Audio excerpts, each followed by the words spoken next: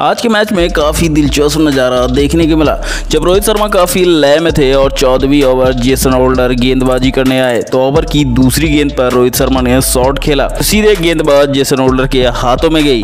Jason holder गेंद पकड़ने के साथ ही स्टंप पर मारना चाह रहे थे, पर गेंद रोहित शर्मा के पीठ पर लग गई। रोहित शर्मा गेंद लगते ही पीठ को अंदर की ओर दबाकर भागने लगते हैं। पर चोट इतना ज़्यादा नहीं था कि फिजियो को बुलाना पड़े। रोहित शर्मा फिर से तैयार होकर बैटिंग करने लगते हैं। बाद में जेसन होल्डर आकर रोहित शर्मा से सॉरी भी कहते हैं। वो उनसे कहते हैं कि चोट ज़्यादा तो नहीं है, लेकिन शुक्र है कि रोहित शर्मा का चोट ज़्यादा नहीं था और वो फिर से बैटिंग करने लगे। ये देखकर जडेजा और जेसन होल्डर दोनों हंसने लगे कि आखिर ये थ्रो रोहित शर्मा की पीठ पर जाकर कैसे लग गई।